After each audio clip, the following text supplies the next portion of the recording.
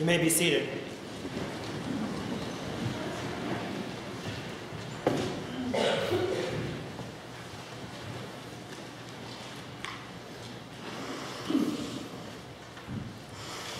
The gospel comes from the gospel according to John, chapter 11, verses 28 through 36.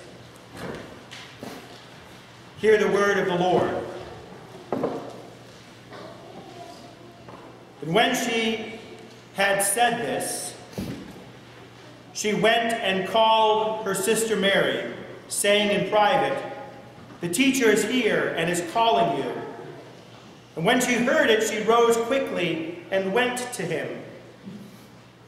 Now Jesus had not yet come into the village, but was still in the place where Martha had met him. When the Jews were with her in the house, consoling her, Mary saw him and rose quickly to go out, and they followed her, supposing that she was going to the tomb to weep there. Now, when Mary came to where Jesus was and saw him, she fell at his feet, saying to him, Lord, if you had been here, my brother would not have died. When Jesus saw her weeping, and the Jews who had come with her also weeping, he was deeply moved in the spirit and greatly troubled. And he said, Where have you laid him? They said to him, Lord, come and see. And Jesus wept.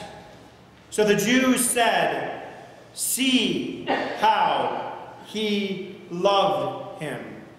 This ends the reading of the Lord. Thanks be to God.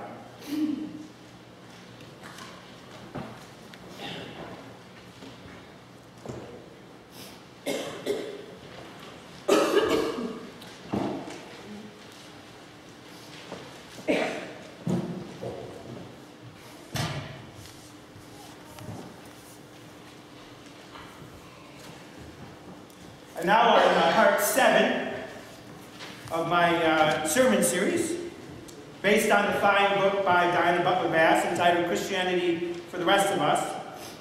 As those who were here may remember, I preached first on the topic of hospitality, reminding us that uh, hospitality is important because it requires us to open our hearts to people that we may not know and, and occasionally on enemies. Dr. Bass uh, saw a church where uh, she was moved when she saw a senior citizen in a wheelchair being pushed by uh, another member, not a, a relative, who was uh, dressed up in goth with, uh, you know, with piercings and tattoos. And she said, uh, a church that welcomes people regardless of what they look like is a church that is filled with hospitality. Then I talked about the issue of discernment, the idea that when making a decision that we shouldn't just, uh, you know, make a flip decision, that sometimes we need to deeply consider the decisions that we make and consider them in the light of prayer and thought, and even if it means that it takes a little bit of time. I then uh, talked about, uh, about uh, um, about contemplation and said that uh, in the churches that uh, Diana Bass went to, many of the churches had returned to uh, some of the ancient traditions of, of, of their experiences. One church she went to uh, that was growing rapidly, both numerically and spiritually, had returned to many of the old Celtic prayers and old uh, Scottish and Scottish and Irish prayers and songs because those were moving and brought people into a closer relationship to God.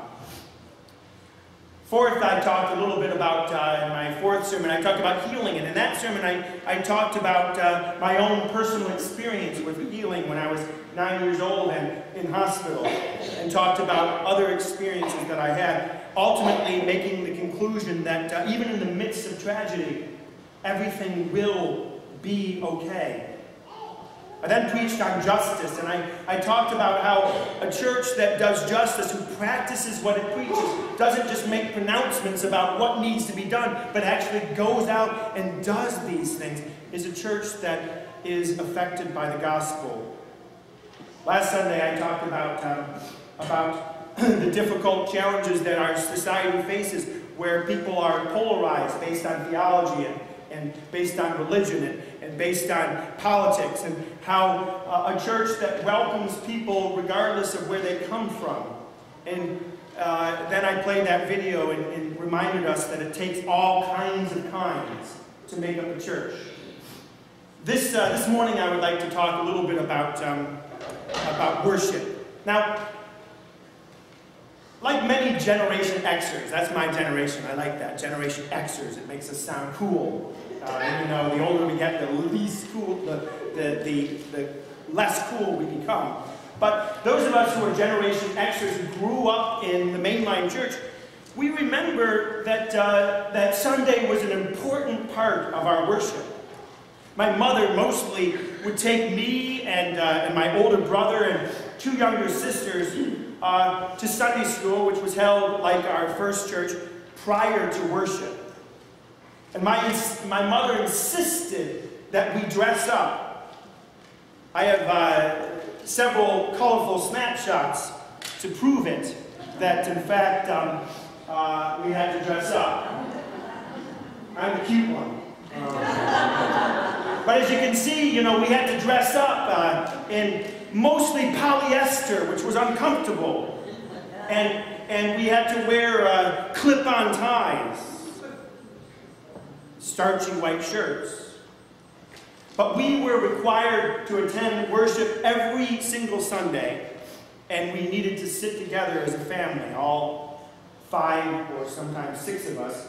My father made excuses about football or something, so often failed to attend.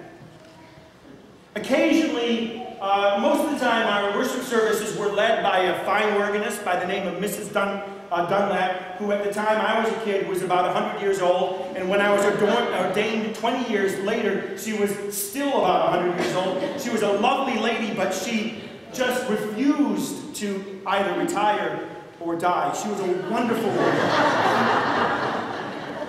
uh, but she sat behind uh, the choir playing the organ. Fast. I remember how fast she was. It wasn't slow. We had to sing Amazing Grace, Hush with the Sound. It was going boom, boom, boom. She wanted to get out. The service lasted about an hour, and then it was followed by a coffee hour. Now, during my time as a member of that church, I can't remember any details of any sermon. But I do remember one sermon that was preached. Now, that sermon was preached by my pastor at the time, Tom Lang, who served the church for more than 20 years.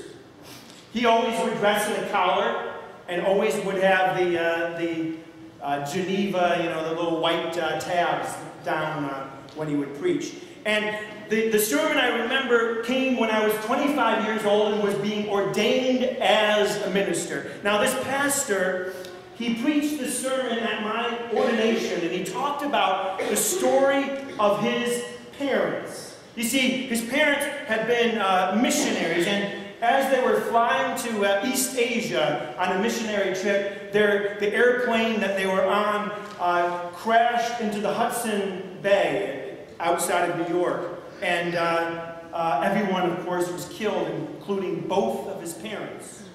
During the 25 years that I had known this man, I never knew that his parents had passed away like that.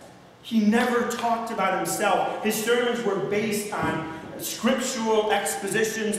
He would read the latest uh, theologians from the, uh, from the 16th century, and he would talk about uh, the Bible.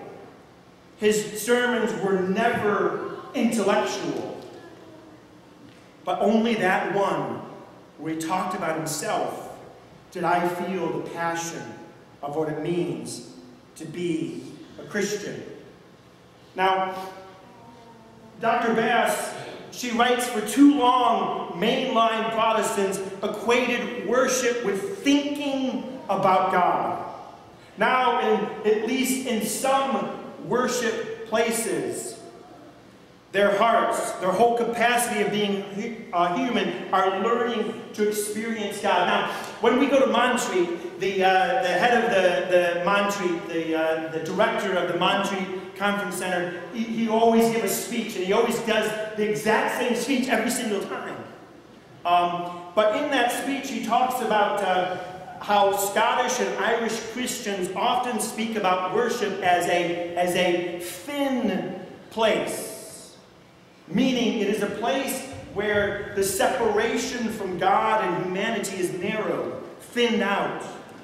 Therefore, as one of my favorite Christian authors says, Marcus Borg, he writes, the purpose of worship is to create a sense of sacred, a thin place. Worship then is not necessarily intellectual. It is an exercise of the heart. Worship's Services don't need to be overly intellectual. It can be emotional. Our, our hymns, our, our prayers, our sermons even are meant to, as Marcus Borg says, create a thin place where our hearts are open.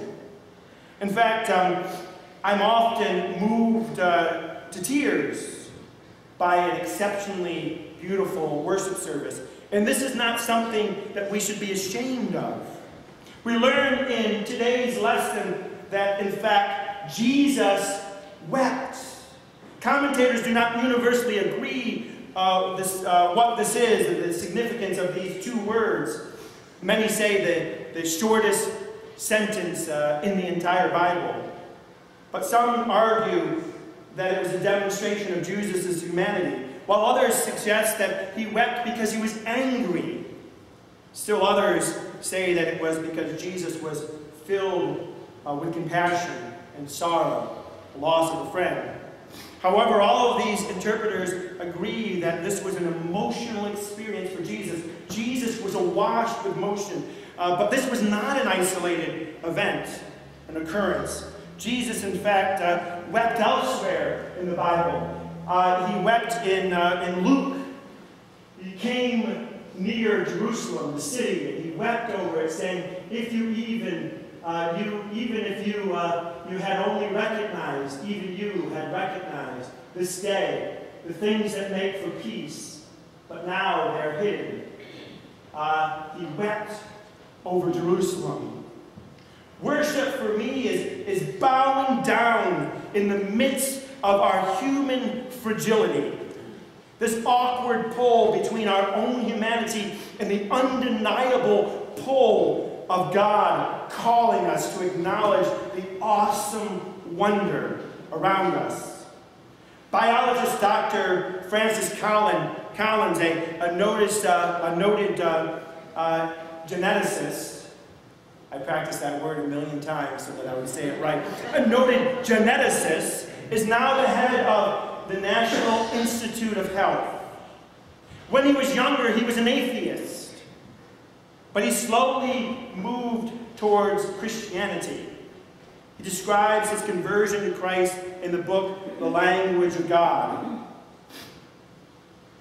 On a beautiful day, he writes, as I was walking through the Cascade Mountains during my first trip west of the Mississippi, Mississippi, the majesty and beauty of God's creation overwhelmed my resistance.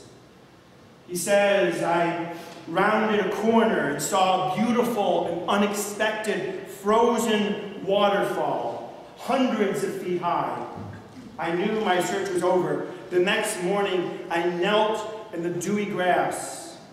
As the sun rose, I surrendered myself to God, to Jesus. For me, worship is a response to the awesome power of creation. When we come into contact with a thin place before God and humanity, we have no choice but to kneel in the dewy grass and surrender ourselves to Jesus Christ. Now, Dr. Bass, when he, she was writing this book, she actually went into these churches and she interviewed these uh, pastors of churches.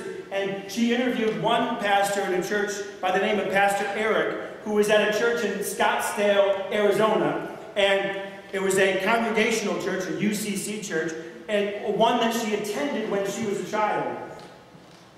Uh, the pastor, Eric, became, uh, uh, described his church when he arrived as a boring mainline church. He became distressed by the fact, by this fact, and, and he began to think seriously about worship. His church is now growing rapidly, and the worship services are a blend of, of contemporary and traditional. He uses a variety of music styles, art, drama, video, and inspiring messages. He was interviewed by Dr. Bass and he described going on a retreat to Oregon uh, where he questioned himself about worship and said, What is the basis of worship? As he was asking this, he, he stared into the water on the coast, and the largest bass he had ever seen swam past, leaving the water rippling in its wake. I stood up, said Eric, and gasped at a sense of awe and wonder that this provoked, and a surge of adrenaline went through my body. This is the foundation of worship, he writes. If you can take an hour on Sunday morning and open people to an experience, uh, a quarter second, he writes, of awe, wonder, and surrender that you yourself have experienced, it is accomplished. Too often, we as Christians are told that the best way to experience God is through our minds. We are asked to believe in certain sets of dogma, and oftentimes we are given these texts and say to memorize them. Ask the confirmation class. I don't know, Amber, if you were in my confirmation class, but I think I asked you uh, long ago to memorize a creed and write one, and, and you had to stand before the, uh, the session. Now, now you're uh, older and getting married and, and having a, a baby. And, and I can imagine that experience of standing up and saying what you believe and talking about it. But you see, worship doesn't have to be what we talk about. It doesn't have to be what we, uh, what we read in a book. It doesn't have to be only that. It can be something so much more. Why do I believe in Jesus Christ? It's not necessarily the, the fact that I read something somewhere. It's because I experienced a personal relationship with Jesus Christ. I experienced a moment in time where awe overwhelmed me, where a sense of wonder overwhelmed me, where I came face to face with an understanding that God is good and Jesus Christ is a powerful, healing Savior. It was a moment in time when I experienced the magical wonder of Christ Jesus. The sermons, the readings, the creeds only reinforced what was already deep within myself this sense that God is there and God is good. I continue to experience that awesome wonder of God in my relationships with other people, in my experiences in worship, in my moments of grace that go on in my life, and even in the mundane reality of the world. There are times when I experience God both in tears and yawns, and in joy and in sorrow, sickness and health while we're at it. To love and to worship God means more than just understanding it here. It means that it's overwhelming our very being. Sometimes our thin places are experienced powerfully in our churches. But sometimes these thin places are experienced elsewhere in the world. Like Pastor Eric seeing the bass jumping out of the water and the water rippling. It's what we do with those experiences that make worship.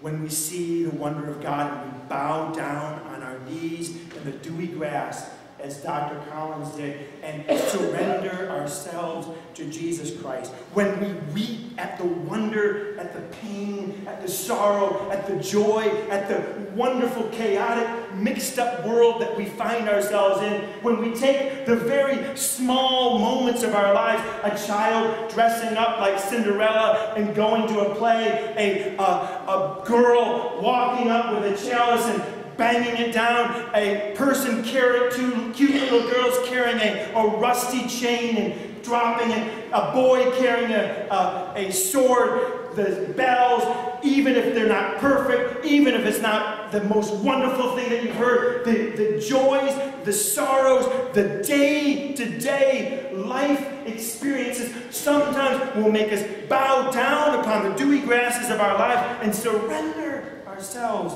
to Jesus Christ. That is what God calls worship. Amen.